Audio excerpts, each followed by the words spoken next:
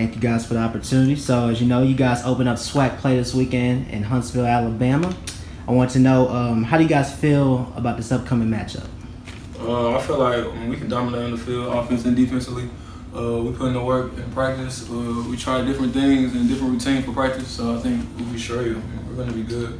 All right. And speaking of practice, how has the preparation been lead, leading up to this moment? I think it's been better since the last weeks. We, I mean, we've been losing, and uh, the practice routine we've been doing it ain't been well, but we switched it up, and everything's looking way better now. Third thing I want to know, uh, what's been the message this week that the coaches have been emphasizing to you guys as a team collectively? Uh, just be disciplined, play, you know, play how you're coached. You know, past few four weeks, past few games that we lost, people were out of place. They weren't doing the things that they were coached to do. You know, they were losing track of what their job was. You know, everybody has a certain job we have to do, and if we do our job specifically how we're told to do, we would we would win games. Gotcha. And last but not least, what are the keys to victory in leaving Huntsville, Alabama, with a victory and starting the SWAC championship upright?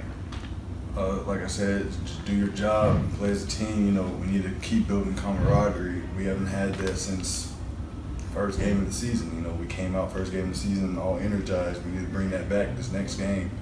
Know, coming back in SWAC play, that's what we need to do. We need to build as a team as we go, stay disciplined, do the little things right. Big things will take care of themselves. I wish y'all the best of luck going into this weekend in Huntsville, Alabama. Go Tigers.